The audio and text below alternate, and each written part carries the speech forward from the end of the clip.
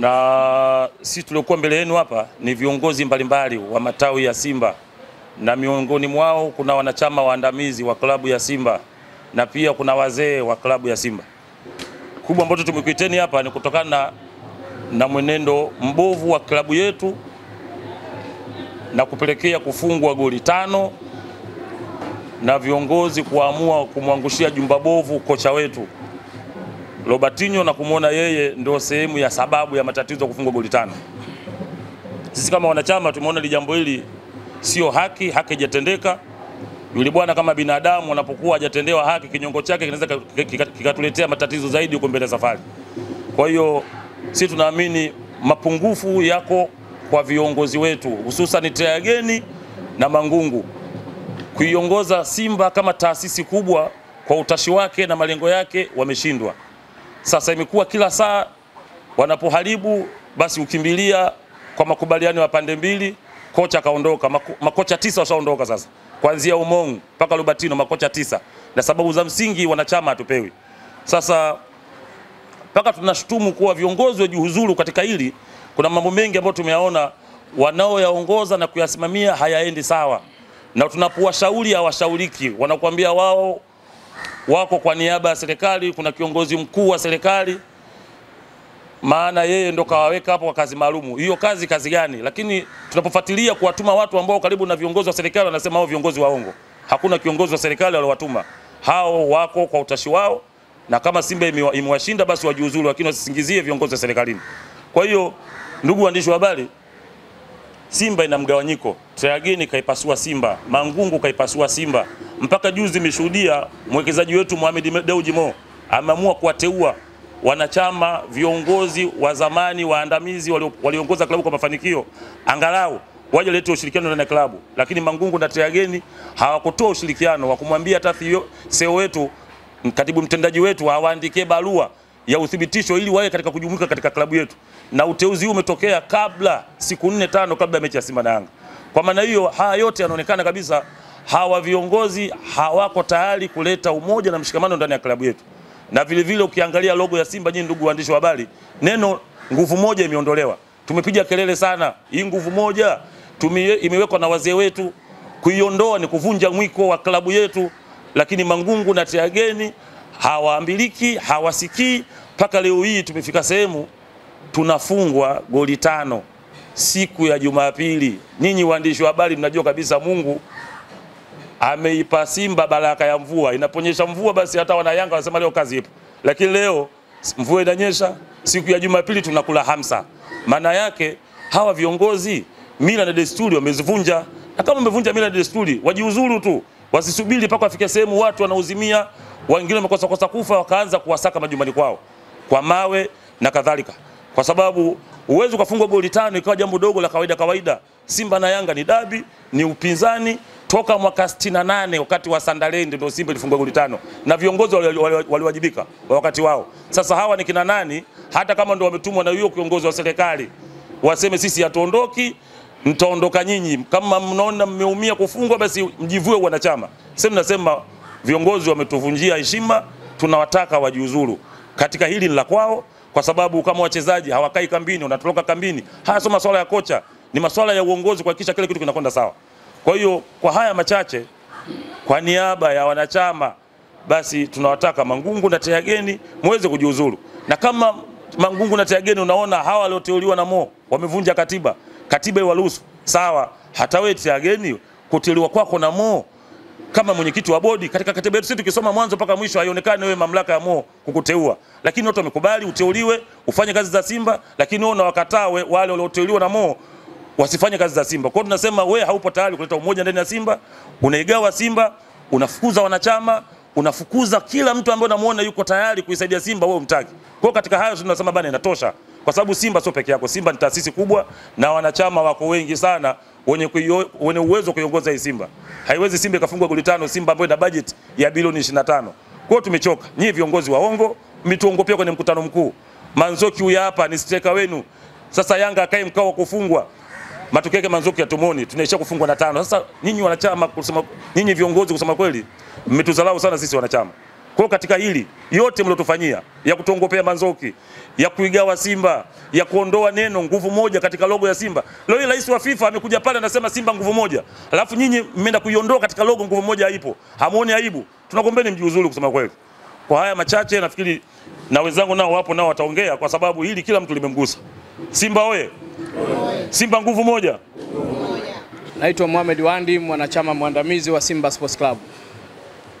Simba moja. Simba nguvu moja.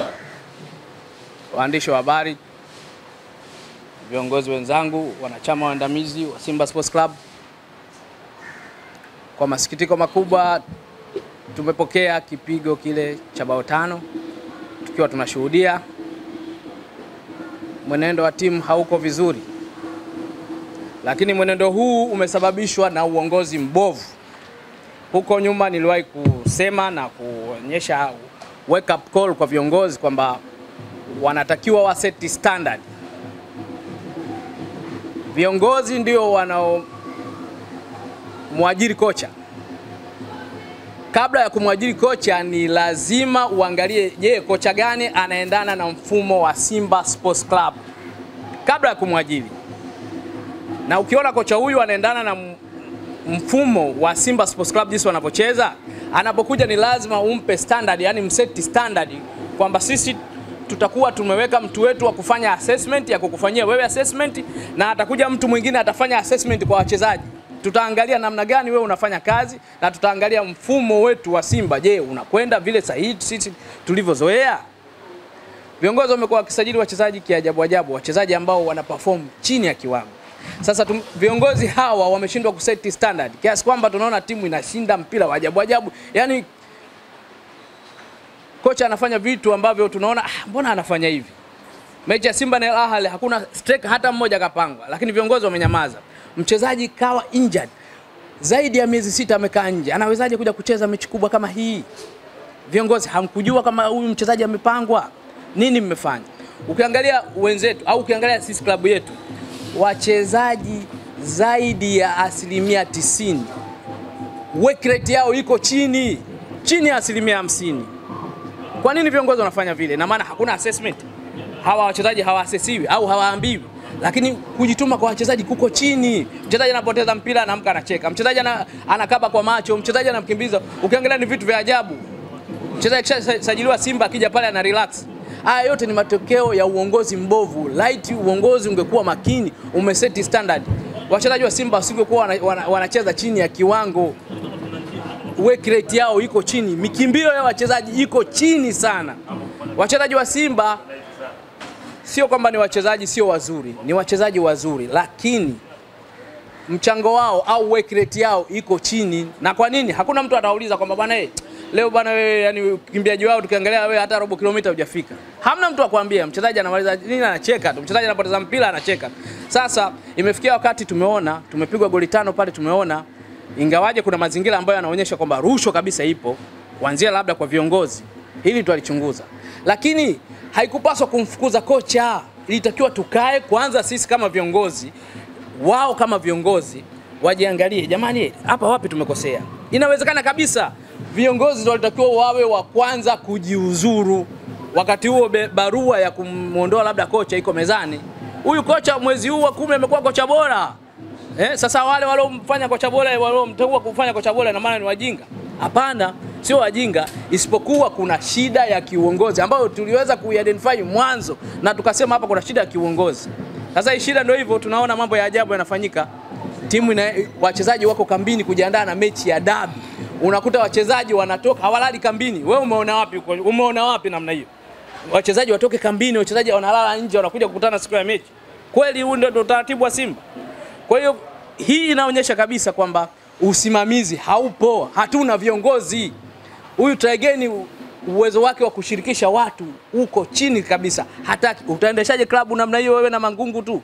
Sasa tunachokisema ni bora wajiuzuru kwa maslahi ya Simba ni bora wajiuzuru kwa kutunza heshima zao. Simba sio klabu ya kwenda kufungwa gao tano kirahisi namna ile, haiwezekani. Mchezaji anapoteza mpira anacheka, hamna mtu akumuuliza baada ya mechi kwamba bwana, wewe kwa nini ulikuwa una perform namna ile? Kwa hiyo viongozi wetu tumewaamini, tumewapigia kura waende wakasimamie taasisi, lakini wameshindwa, hawakuweza kuseti standard za Simba Sports Club. Kwa hayo machache, naomba niwape nafasi wenzangu. Kadi namba yangu 00114 mwanachama mwandamizi. Jina langu Jafari Mlete. Mimi sina maneno mengi ya kiufundi sana, namshukuru dokta ametoa maneno ya kiufundi, lakini sisi ni wanachama katika klabu ya Simba ina partition tatu. Kuna wanachama,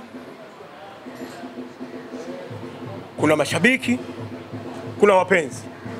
Acheni daraja kubwa la viongozi. Matokeo ya aina yoyote yaliyotokea kama juzi au matokeo ambayo ni mwenendo wa Simba ulivyokuwa unakwenda kila wakati, klabu haina nguvu, wachezaji hawana nguvu, klabu haina mvuto, ni moja kwa moja hili swala linakwenda kwa, kwa viongozi. Tusimwangushie mtu jumba bovu. Unaweza ukawa na nyumba nzuri, chumba kizuri, ukaweka fanicha zako za ajabu nyingi tu, lakini kama jumba linavuja siku mbili tu, una kitu wewe, una kitu wewe. Umri wangu miaka 60 sijawahi kuishuhudia Simba naifunga Yanga goli nne, sijawahi, ila Yanga kupigwa tano sita nne kawaida. Ni viongozi wa kwanza try again na mheshimiwa Mangungu. Mimi namwita mheshimiwa sana, subiri ubunge, sijui kwa maelekezo ya nani, ndiyo chanzo cha viongozi wa kwanza wao kuweza kufungwa goli tano na Yanga Afrika. Hii haitafutika karine na karine. Sisi tutaondoka duniani, hii kitu kitakuwa kimesimama. Sasa nani wa kulaumiwa? Tutakuwa ni sisi. Simba leo imegawanyika, mwenyekiti ana kundi lake, try again ana kundi lake, viongozi wengine wana makundi yao, hawataki wenzao. Nguvu moja utaipata vipi? Kama sisi wenyewe tunabaguana, nguvu moja utaipata vipi? Viongozi wanaendesha, wanaendesha Simba kama kampuni. Sitaki kuwachosha wenzangu, sisi tuna kauli yetu moja tu ambayo ni nzuri sana, ambayo ipo rais rais mstaafu Mheshimiwa Ali Mwinyi alipokuwa waziri wa mambo ya ndani, yalipotokea mauaji kanda ya Ziwa, alijiuzuru. Simba huko nyuma chini ya Mwalimu Kirundu ilipofungwa goli tano na Yanga alijiuzuru. Sasa wao wanawachukulia vipi wanachama na wapenzi wa Simba ambao wameumia? Wana uwezo wa namna gani? Simba, mimi nataka kuambia waandishi wa habari na ndugu zangu, Afrika nzima hakuna mtu anaweza kuipiga Simba goli mbili bila, nje au ndani, hakuna, kulingana na quality ya wachezaji.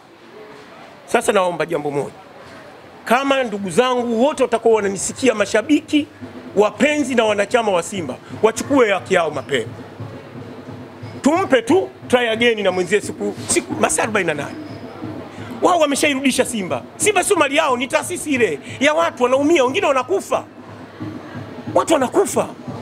Wairudishe tu Simba ili warudishie wanachama wenyewe, wamrudishie mwekezaji, angalie utaratibu mwingine ambao unaweza kufanyisha kwamba Simba watu wakapata furaha yao na wakajiji kufuta hii kitu masaa 48.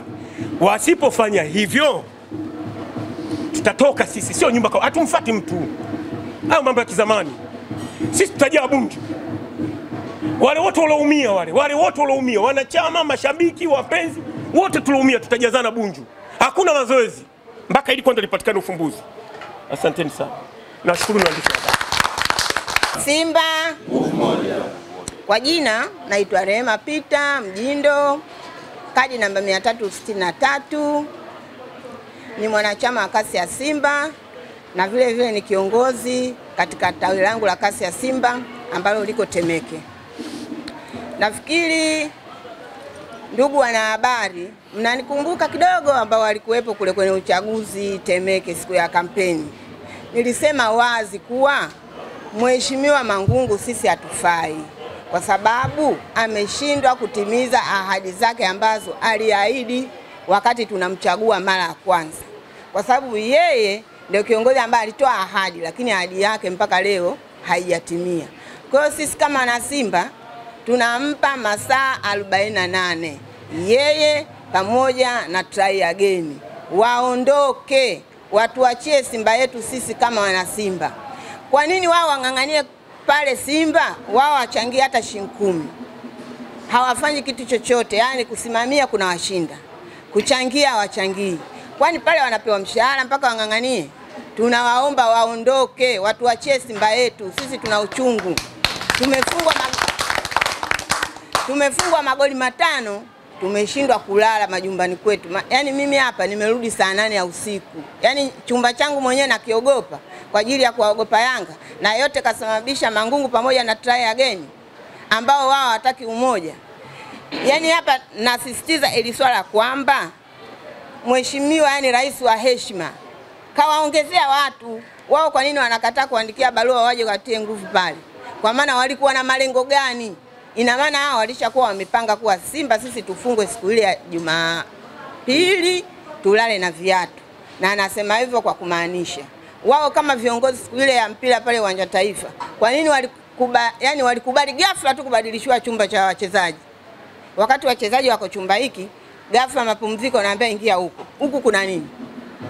Kwa nini wasikatae? Kwa sababu wao ndio viongozi na wao ndio wa, wanajua utaratibu wetu. Kwa nini walikataa? Hilo ndio swali langu. Kwa hiyo tunawapa masaa 48 waondoke, la sivyo nyumba kwa nyumba, mtu kwa mtu, viongozi ambao wanasababisha matatizo kwenye klabu yetu, tutafanya sisi uamuzi wetu. Tunakumbuka enzi zile za zamani, tutawachomea hata majumba yao moto. nini wanatakiwa wafanye ili waweze kupata furaha katika klabu yao. Ile nafasi ya kuwa mwenyekiti wa mkoa waliniondoa kwa sababu nilikuwa nasema ukweli. Sasa nimekuja mbele yenu kama mwenyekiti mstaafu wa mkoa, kwa sababu nafasi yangu ya kujenga hoja ya kushawishi na kukosoa bado ninayo kama mwanachama. Kwa hiyo nitaitumia nafasi hii ya kuyaelezea madhila yaliyotokea na kusababisha sisi tunafungwa goli tano na Yanga kitendo ambacho kinatuhuzunisha sisi kama wanasimba na kimetutia unyonge, kwa sababu tulikuwa tuna pawa kubwa kwa klabu yetu na tulikwenda wengi kwa kujiamini, kutokana na klabu yetu ilivyoweza kucheza na bingwa wa Afrika National Ahli na ikatuonyesha mpira mkubwa, na tukaamini kwamba tutakuja kuona maajabu makubwa tofauti na yale tuliyozoea kuyaona, lakini kutokana na uzembe wa viongozi waliopo madarakani wametusababishia sisi tumeondoka na magonjwa ya kuugulia machungu ya kufungwa goli tano kwa kipindi cha dakika tano au kumi. Simba imefungwa goli nne mfululizo. Ni, ni kitendo cha ajabu akijawahi kutokea, kwa sababu dakika 64 mpaka inafika dakika 81 Simba kishafungwa goli nne. Hiyo timu hata kama mnacheza mpira wa mtaani wa makaratasi, hicho kitendo hakiwezi kutokea, na huwezi kumwambia mtu yoyote kwenye fani, kwenye mpira kwamba dakika hizo mtu amefungwa kwa sababu eti amezidiwa. Hapana, huu ni uzembe wa viongozi, na ndani ya klabu ya Simba hatugawani pesa. Hata kama utajenga magorofa mamilioni kwa mamilioni ya magorofa, hakuna mtu atakuelewa kama furaha ndani ya klabu ya Simba haipo, kwa sababu ndani ya Simba tunagawana furaha. Kiongozi alioshindwa kuleta furaha ndani ya klabu ya Simba anangoja nini ndani ya klabu ya Simba wakati wewe umeshindwa kucheza mpira? Na Simba ni klabu ya mpira. Simba sio klabu ya biashara. Biashara ni ziada, lakini kitu cha kwanza ndani ya Simba ni mpira. Sasa ukijikita kwenye kusema kwamba mimi nimeleta biashara, nimeweka mwekezaji wa jezi, nimemleta nani, hivi ni ziada lakini Simba Sports Club maana yake ni klabu ya mpira. Kwanza kiongozi ujikite kwenye kuucheza mpira. Ukiweza kuufanikisha mpira, alafu ndio uende kwenye vitu vya ziada.